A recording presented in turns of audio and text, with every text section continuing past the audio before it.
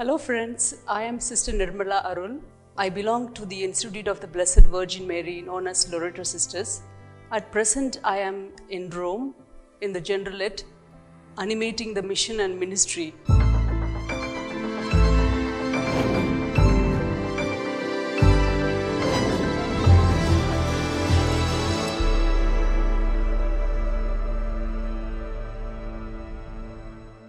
I am from India. I was born in a traditional Catholic family. I went to church every day. I learned all the prayers. I had this image of God who was watching me all the time.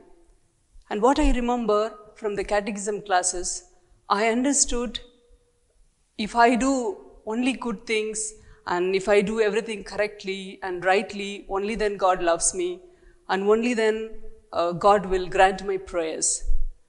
With this image of God, I joined religious life very early. And during my formation, I realized that I was very harsh with myself, harsh with others, and everything around me.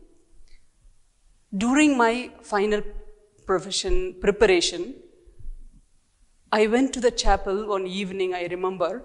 I had the habit of kneeling down, stretching my hand, sometimes prostrating on the floor and praying in my personal prayers. So this evening, I heard a voice within me saying, You worship a God which is made of stone, clay, metal, iron, wood. What about seeing a God who's alive, active, struggling, laughing, happy, inhuman, and everywhere and everything? This voice, I reflected, and this made changed my life.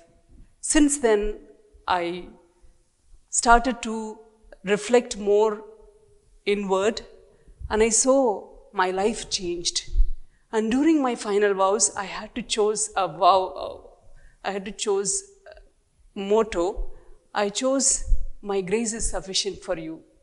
Because of that experience, I understood the meaning of grace in a better way. It is not my intelligence, it is not my talents that mattered.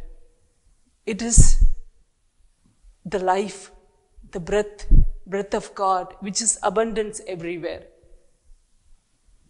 Only then I started to realize that God is everywhere in everything, and the relationship with myself, relationship with others, and relationship with God became meaningful to me.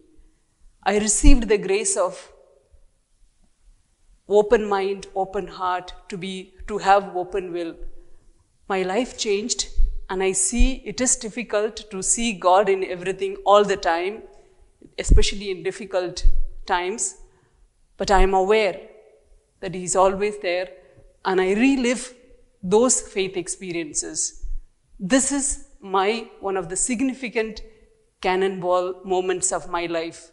What about your cannonball moments in your life?